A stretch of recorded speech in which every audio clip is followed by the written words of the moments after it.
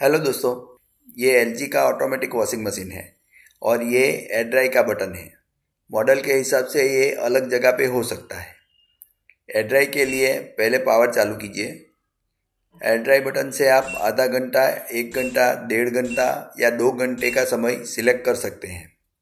चलिए, आधा घंटा सिलेक्ट करते हैं। अब स्टार्ट बटन दबाते ही एयर ड्राई का प्रोसेस चालू हो जाएगा।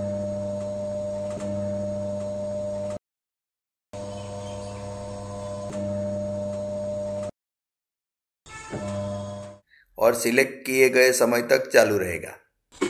ये एक तरह का स्पिन है जो लंबा चलता है। इस तरह आप आधा, एक, डेढ़ या दो घंटे तक एड्राई ड्राई कर सकते हैं। तो मिलते हैं अगले वीडियो में।